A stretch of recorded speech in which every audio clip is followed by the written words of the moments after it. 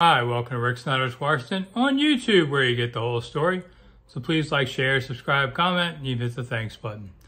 Washington Commanders play at San Francisco 49ers on Saturday night, and you're just sitting there thinking, how are they going to win this game? You know, they've struggled in recent weeks uh, against far less teams. San Francisco is one of the better ones on their schedule. 49ers have a real chance to get to the Super Bowl. But I've often said if you get to the playoffs this season in the NFC, anybody has a puncher's chance of making the playoffs. So this is really a game that Washington will show whether or not they can do it should they make it as the seventh playoff seed. Okay, a few things. Number one, the run defense hasn't played very well lately.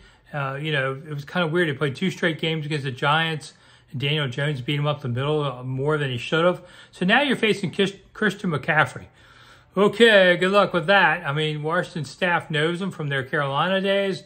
We all know what Christian McCaffrey can do. He's a great player.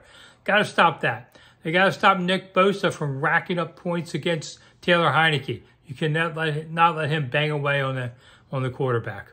Also, they have to run the ball more. They got you know can't be forgetting about people. You're gonna have to stick with the run, work the clock.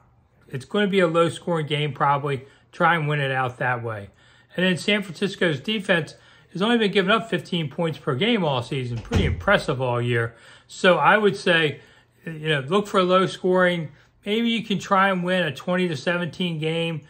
I don't know. It's going to be interesting. They have to go all the way across the country for the Commanders. It's a Christmas Eve game. There's a lot going on here on a short, shorter week than they would like. So I think overall it's going to be a tough one for them to win. And that'll leave them Cleveland and Dallas to win at the very end.